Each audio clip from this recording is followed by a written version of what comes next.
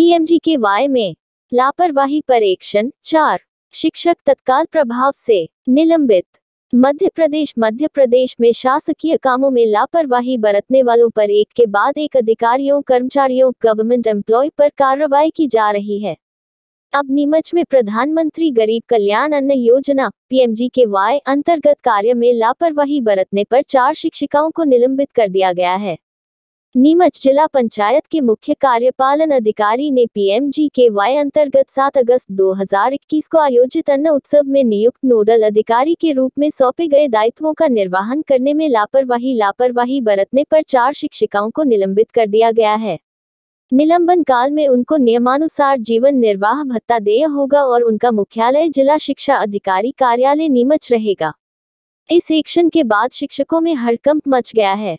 बताते चले कि हाल ही में प्रधानमंत्री गरीब कल्याण अन्न योजना के अंतर्गत मध्य प्रदेश में बड़ा अन्न उत्सव बनाया गया था, जिसका खुद पीएम मोदी शुभारंभ करते हुए देश की जनता को संबोधित किया था।